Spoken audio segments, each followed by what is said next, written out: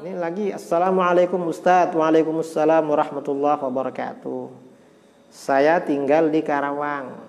Saya ini punya masa lalu Hidup yang kelam.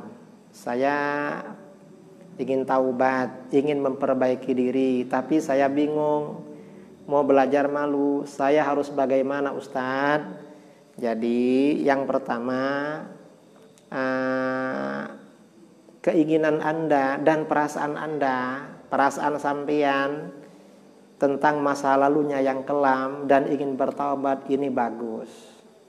Dan setiap orang itu memang harus menyesali masa lalu yang kelam, yang tidak baik harus menyesali. Dan sampean harus bertaubat dan harus memperbaiki diri.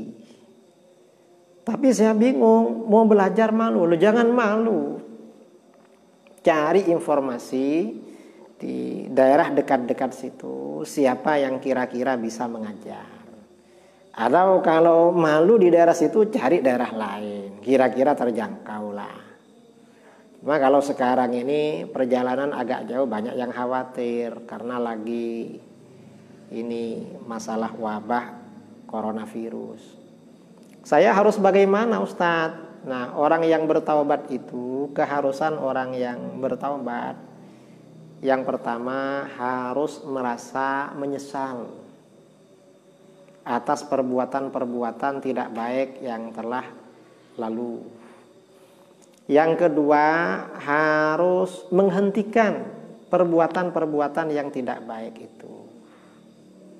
Itu di antara syarat bertaubat. Kemudian, eh, kemudian dia ini ya mohon ampun kepada Allah.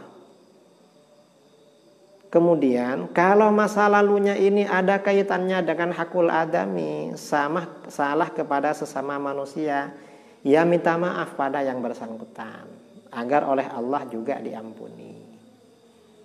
Kemudian hutang-hutang ibadahnya seperti sholat atau puasa diganti semampunya.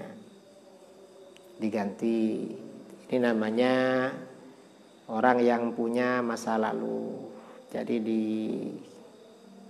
di kodok diganti. Ini syarat-syarat taubat. Kemudian dia juga berniat tidak akan mengulangi lagi seperti yang lalu. Harus ada niat seperti itu. Ya kalau nanti berbuat lagi, bertaubat lagi. Karena sabda Rasulullah sallallahu alaihi wasallam, "At-taibu minadz-dzambi kaman la dzambalahu." Orang yang bertaubat dari dosa itu seperti orang yang tidak punya dosa.